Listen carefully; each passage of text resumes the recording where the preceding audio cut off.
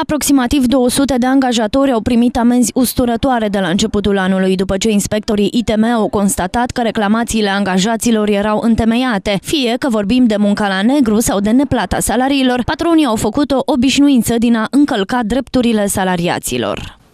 S-au fost uh, făcute aproximativ 500 uh, de controle, s-au sancționat cam 57 de angajatori, S-au depistat persoane fără formă de, fără muncă, fără forme de angajare, cu muncă la negru aproximativ 57 de persoane, s-au depus aproximativ 200 de sesizări privind încălcarea drepturilor salariaților, cele mai frecvente fiind uh, drepturile salariale, neacordarea de către angajator, orele suplimentare, timpul de muncă, turile de noapte. Au fost aplicate și sancțiuni, amenzi în valoare de peste 400 de mii. Cele mai multe nereguli au fost depistate în domeniul construcțiilor și a firmelor de pază și protecție. În această perioadă, inspectorii desfășoară o serie de controle în spălătoriile și în servisurile auto.